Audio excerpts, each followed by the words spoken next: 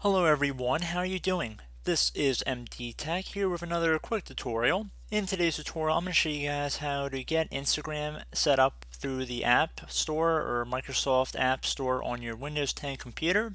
So without further ado, let's jump right into this tutorial. So we're going to begin by opening up the Start menu, and you want to type in Store. Best Match should hopefully say Store right above Trusted Microsoft Store App. You want to left click on that option one time to open it up and now up at the top bar, you want to type in Instagram.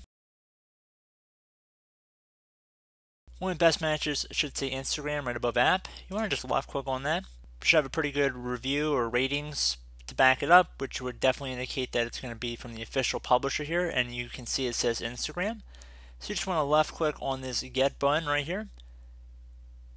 And it will begin the download process. So please be patient. This will take a few moments to download.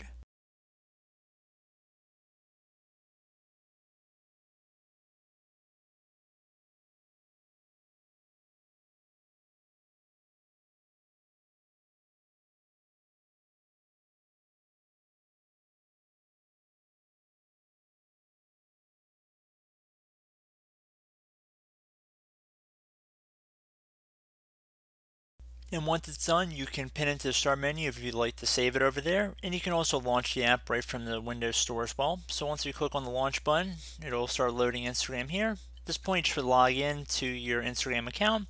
And if you wanted to let Instagram access your account so you might already have listed in the Windows 10 settings, you can just left click on yes. But really, that's a personal preference. But I do hope this brief tutorial was able to help you guys out.